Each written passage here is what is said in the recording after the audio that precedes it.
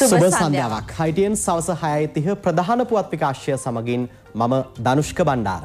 මම මදුනිකා කරපුටුගල අදත් මුලින් අවධානය පුවත් සිරස් තල වෙත.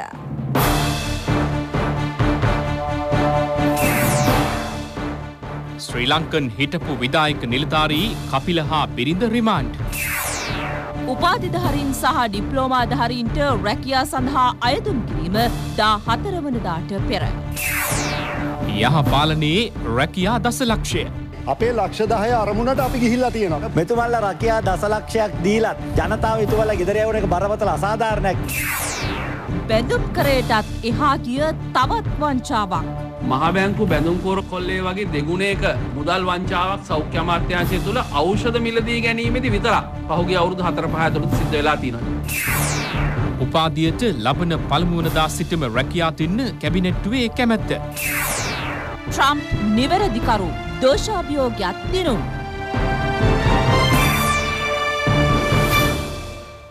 ශ්‍රී ලංකන් ගුවන් සමාගමේ හිටපු ප්‍රධාන විධායක නිලධාරී කපිල චන්ද්‍රසේන හා ඔහුගේ බිරිඳ ප්‍රියංකා විජේනායක යන අය රක්ෂිත බන්ධනාගාරගත කෙරුණා.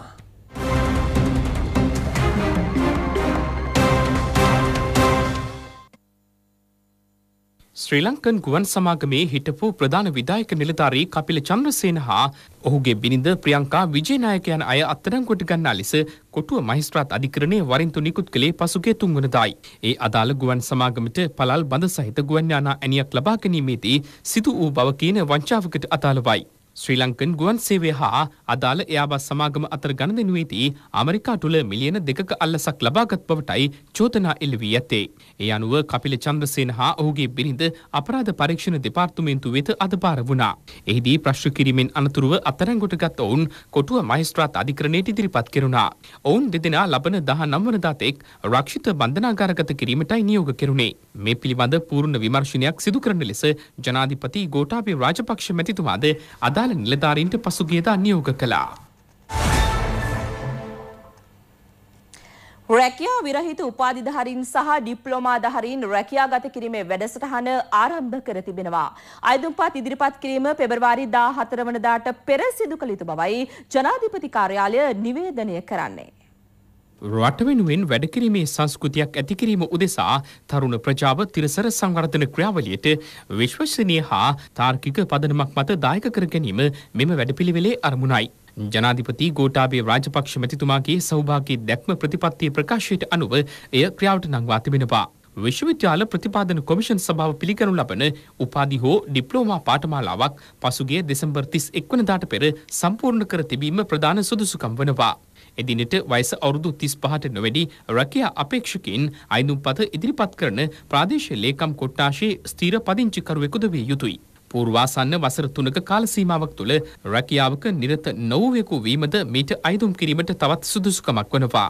නිසි පරිදි සම්පූර්ණ කළ අයිතුම් පත්‍රය ලබන මස දා හතර වනදාට පෙර රැකියා විරහිත උපාධිධාරීන් ඩිප්ලෝමාධාරීන් රැකියා ගත කිරීමේ වැඩසටහන දෙදහස් විස්ස ආයතන කළමනාකරන හා සම්බන්ධීකරණ අංශය ජනාධිපති ලේකම් කාර්යාලය කොළඹ එක යන ලිපිනයට යොමු කළ යුතුයි.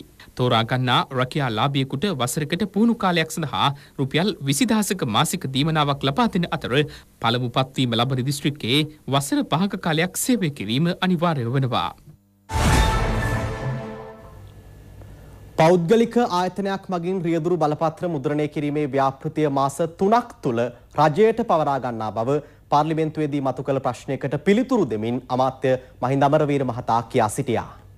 දෙදස් නමේ තමයි මේ ව්‍යාපෘති ආරම්භ කරේ අවුරුදු හතකට. රුපියල් එක්දා සත්සියයි ලයිසන් එකේ ගාන තුන්සිය හැටයි රජයට ලැබෙන් පියල් එක්දස් තුන්සිය හතලිහක්ම යන්නේ මේ ඩ්‍රයිවින් ලයිසන් එකෙන් මේ මුද්‍රණය කරන සමාගමට. මේ කිසිම ස්මාර්ට්කමක් නෑ මේක නිකම් මේ ප්ලාස්ටික් කෑල්ලක් විතරයි. මේ කාරණය සම්බන්ධව දැනටමත් කොමිටියක් පත් කල්ලා සම්පූර්ණ පරීක්ෂණයක් තියෙනවා. තොරතුරු ඒ අය මට වාර්තා කරාවි මාස තුනකින් අපි මේ කටයුත් අවසාන කල්ලා රජයට පවරාගන්න බලාපොරොත්තු වෙනවා. පසුගේ රජයේ රැකයා දසලක්ෂී ව්‍යාපෘතිය පිළිබඳවද පාර්ලිමේන්තුවේදී අද ප්‍රශ්න කෙරුණා. පැහැදිලිව මේකට උත්තරේ ලැබිලා තියෙනවා මේ ව්‍යාපෘතියක් තිබුණේ නැහැ කියලා.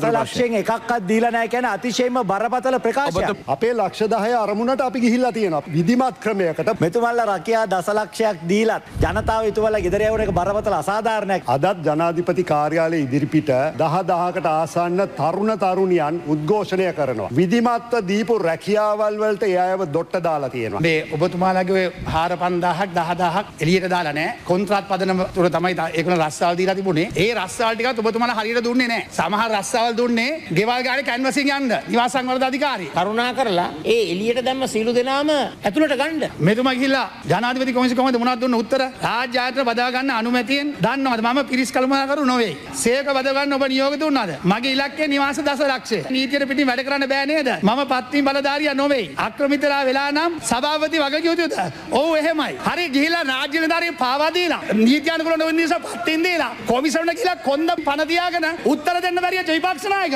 එනිසයි පැහදිල කියලා තමුන්නාස සම්පූර්ණ මෙරටේ තරුණයන්ව රැවට්ටුව කියන එක අපි එක්සත් ජාතිය පක්ෂ යහපාන ආණ්ඩුවට මතක් කර දෙනවා.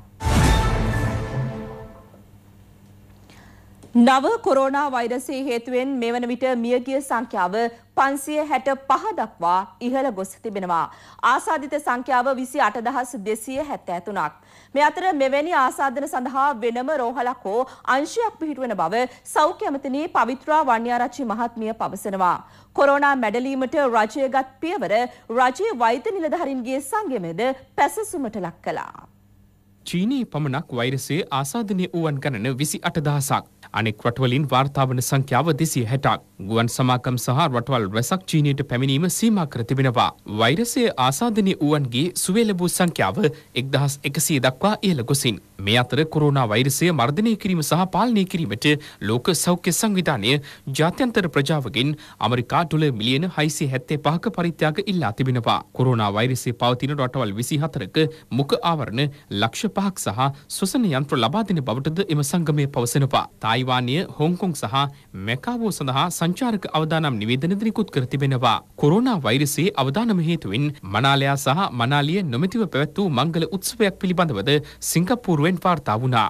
මනාල යුවල විවාහ මංගල උත්සවයට පෙර චීනයේ සංචාරය කර පැමිණි දෙදෙනෙක්. විවාහ මංගල්‍යයට පැමිණීමට අමුත්තන් බියවීම හේතුවෙන් වීඩියෝ ඇමතුමක් කරහා උත්සව ශාලාවේ සිටි පිරිස් සමග මනාල යුවල සම්බන්ධ වූ බවයි විදෙස් මාධ්‍ය වාර්තා කළේ. දින 10ක් අඛණ්ඩව කොරෝනා වෛරසය මැඩ පැවැත්වීම සඳහා කටයුතු කරමින් සිටි 27 හැවිරිදි චීන වෛද්‍යවරයෙකුද හෘද රෝගයක් හේතුවෙන් ජීවිතක්ෂයට පත්ව තිබෙනවා. ශ්‍රී ලංකාව තුළ කොරෝනා වෛරසය මර්ධනය කිරීමට හැකි වූයේ සියලු දෙනාගේ උත්සාහයෙන් බව ඇමතිනී පවිත්‍රා වන්‍යාරච්චි මහත්මිය අද පැවති මාධ්‍ය හමුවකදී සඳහන් කළා.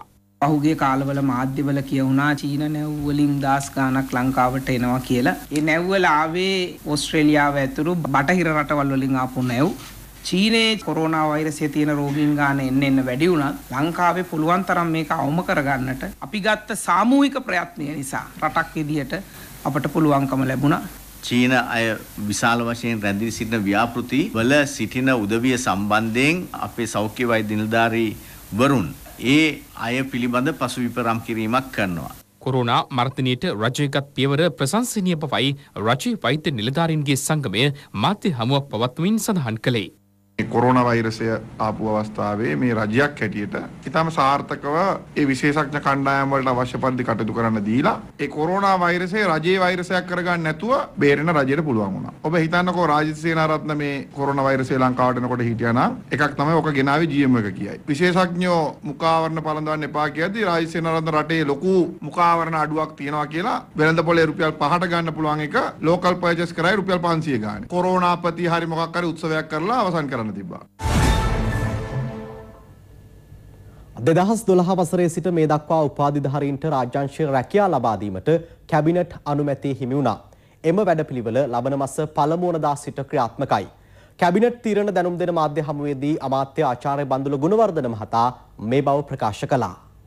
බාහිර අභ්‍යන්තර බේදයකිනුත් තොරව මාර්තු මස පළවෙනි දින සිට දෙදස් විසියකේ මාර්තු මස පළවෙනි දින දක්වා පූර්ණ වර්ෂයක කාලයක් සඳහා පුහුණු කාලයක් ලෙස තමයි මේ සියලුම උපාධාරීන් බඳවගන්න. ඒ සේවා නියුක්ත කරන ස්ථානයේ අවම වසයෙන් වර්ෂ පහක කාලයක් ස්ථාන මාරුවීමකින් තොරව රැකියාවේ යෙදෙන්ට ඕන. ඩිප්ලොමාධාරයෙන් ඉන්නවා නම් ඒ අයත් මේ උපාධාරී රැකිය අවස්ථා යටතේ ඉල්ලුම් කරන්නට අවස්ථාව ලැබෙනවා.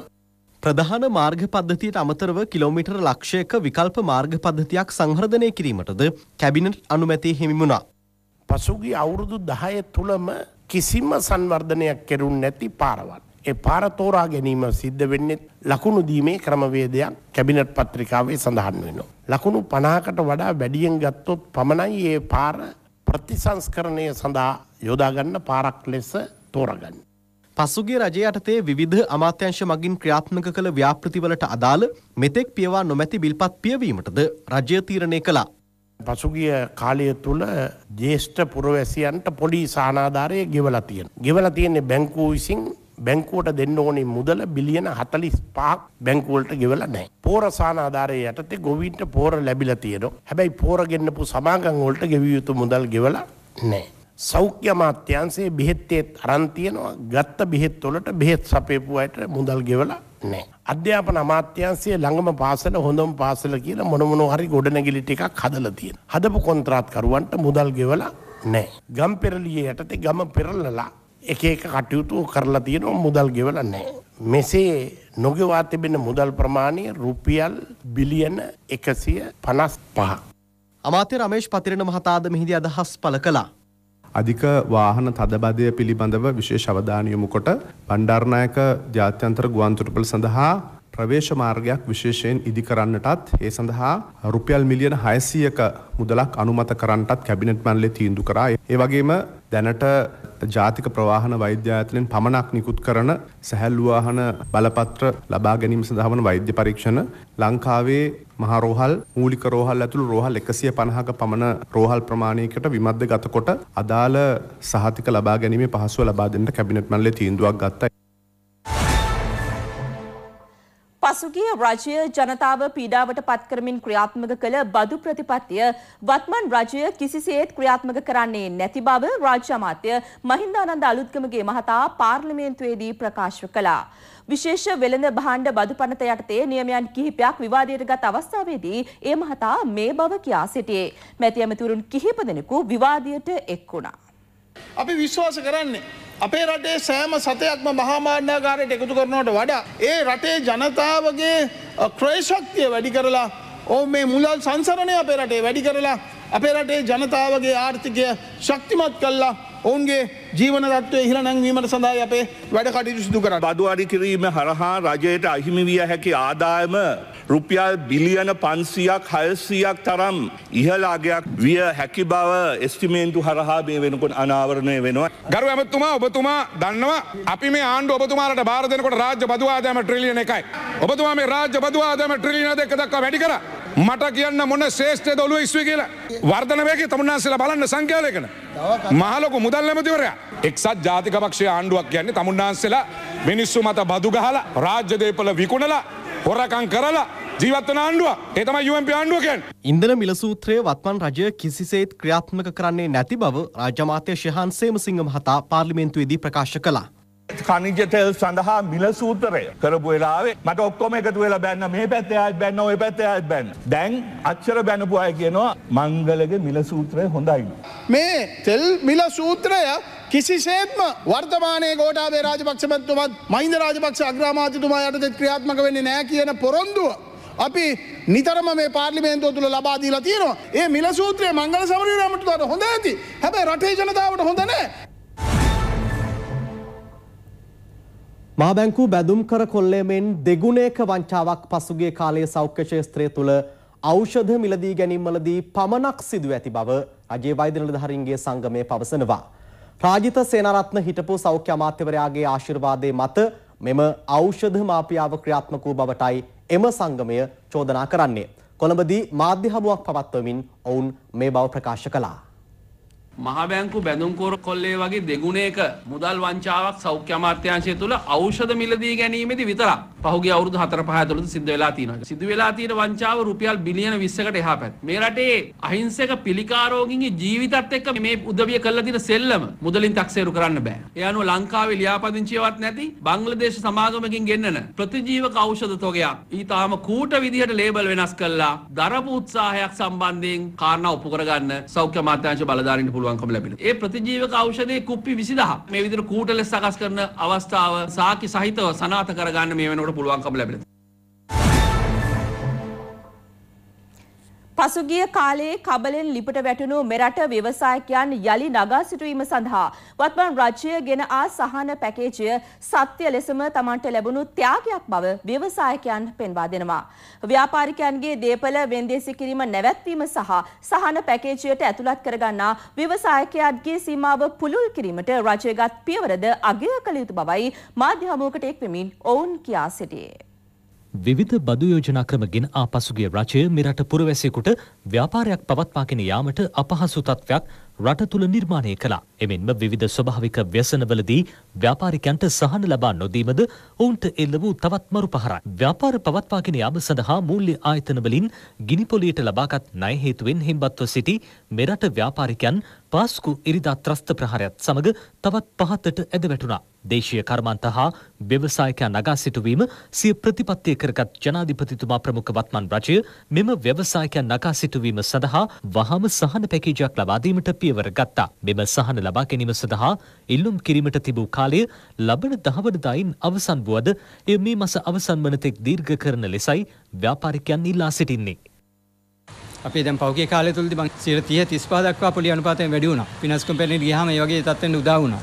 ඉතින් මේ දැවන්ත පොලියක් එක්ක අපි කොහොමද අසල්වැසි රටවල් එක තරම් කරන්නේ? අපි ඒකට ලෑස්ති ව්‍යවසායක විදියට මේ රටේ තියෙන සංවර්ධනය ඇති කරන්න මෙන්න මේ ව්‍යවසායකයට තියෙන මේ මුල්‍යමය ගැටලුව විසඳගන්න ඒ වගේම රාජ්‍ය ආයතන වලින් වෙන කාර්යක්ෂම සේවය ලබා දුන්නොත් මම හිතන්නේ මේ සියලු ව්‍යවසායකින් රට හොඳ තැනකට ගේන්න ඔවුන්ගේ හැකියාව ශක්තිය එකතු කරાવી. එක්සත් ජාතික පක්ෂය ප්‍රමුඛ කණ්ඩායම ඉදිරියේදී ගොඩනගන සඳහනයට ශ්‍රී ලංකා නිදහස් පක්ෂයෙන්ද පිරිසක් එක්වන බව පාර්ලිමේන්තු මන්ත්‍රී සුජීව සේනසිංහ මහතා පවසනවා. මේ අතර එජාප අරබුදය සම්බන්ධයෙන් සිරිකොත පක්ෂ මූලස්ථානයේ හා විපක්ෂ නායක කාර්යාලය පැවති මාධ්‍ය හමුවලදීද දේශපාලන නියෝජිතීන් අදහස් පළ කළා.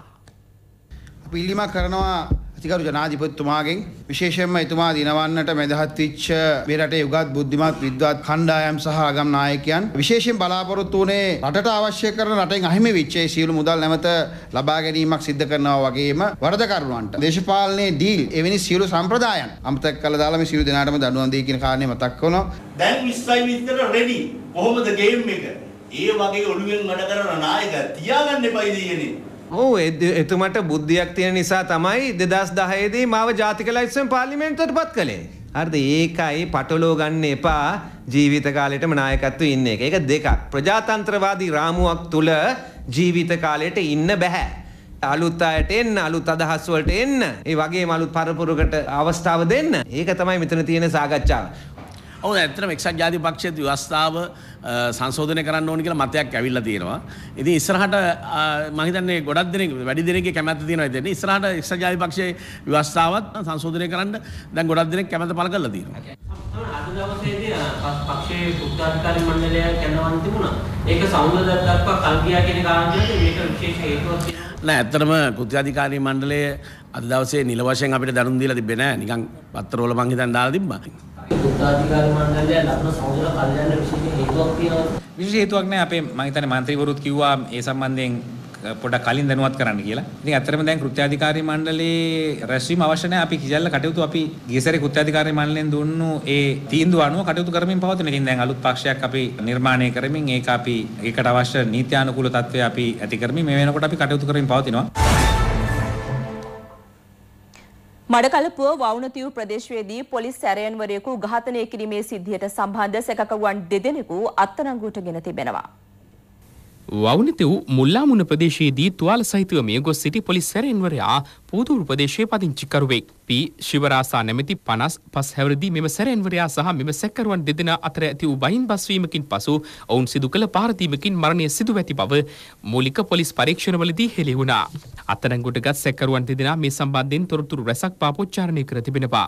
ඝාතනයට ලක් වූ පොලිස් සැරෙන්වරයා තිදරු පියෙක් වන අතර ඔහු ලබන මාසයේදී පොලිස් සේවයෙන් විශ්‍රාම යාමට නියමිතව සිටි බවයි පැවසෙන්නේ. ඝාතනය සම්බන්ධයෙන් වවුනිතු පොලිසිය වැඩිදුර විමර්ශන ආරම්භ කර තිබෙනවා.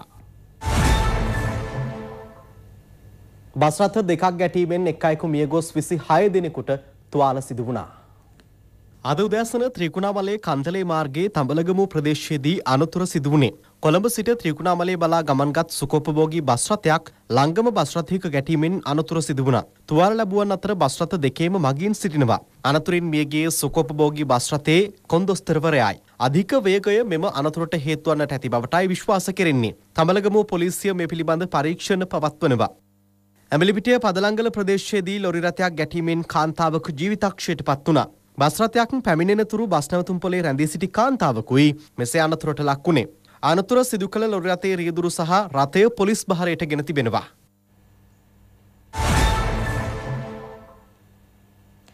පොළොන්නරුව දිස්ත්‍රික්කයෙන් වී මෙට්‍රික් ටොන් පනස් දහසක් මිලදී ගැනීමට රජය සැලසුම් කර තිබෙනවා.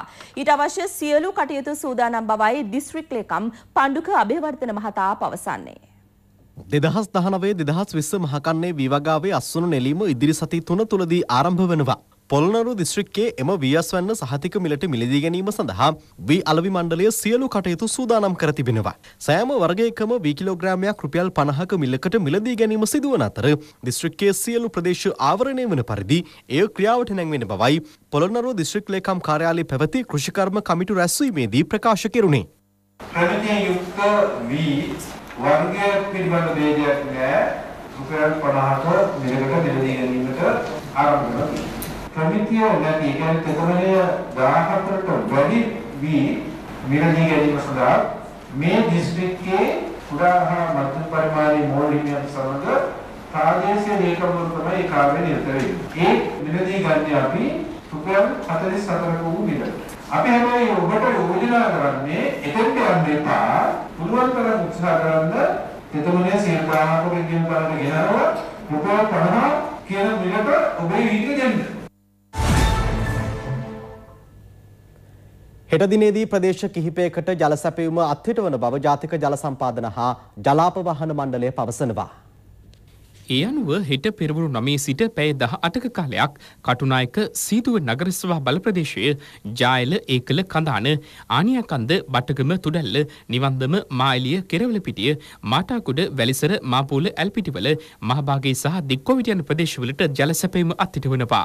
එමෙන්ම මාතලේ මහනගර සභා සීමාව ඇතුළු ප්‍රදේශ කීපයකට හෙට පෙරවරු අටේ සිට පැය විසි හතරක කාලයක් ජල සැපයීම අත්හිට වනු පවද ජාතික ජල සම්පාදන මණ්ඩලය සඳහන් කරනවා.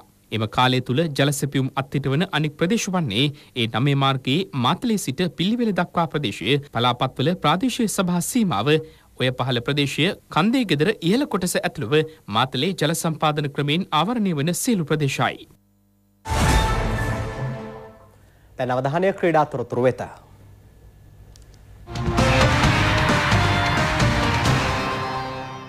Mahoe wickets, but it has tended to be that slower tennis ball bounce. ඉන්දියාව සහ නවසිලන්තය අතර පැවැති පළමු එක්දින ක්‍රිකට් තරගේ කඩුළු හතරකින් ජයගැනීමට නවසිලන්ත කණ්ඩායම සමත් වුණා. තරගේ ප්‍රථමයෙන් පන්දුවට පහර දුන් ඉන්දිය කණ්ඩායම සිය පන්දු වාර 50 අවසානයේ කඩුළු හතරක් පමණක් තැවි ලකුණු 347ක් රැස් කළා. ශ්‍රියස් අයියර් පන්දු 107කදී ලකුණු 103ක් වාර්තා කළා. පිරිතුරු ඉනිම ක්‍රීඩා කළ නවසිලන්ත කණ්ඩායම පන්දුවාර 48යි එක් පන්දුවකදී කඩුළු 6ක් පමණක් ලැබී ලකුණු 348ක් රැස් කරමින් තරගයේ ජය හිමි කරගත්තා. විශිෂ්ට ඉනිමක් ක්‍රීඩා කළ රොස්ටේල නොදවී ලකුණු 109යි. තරගයේ වීරයා සම්මානය හිමි කරගත්තේද රොස්ටේලර්ස් විසින්.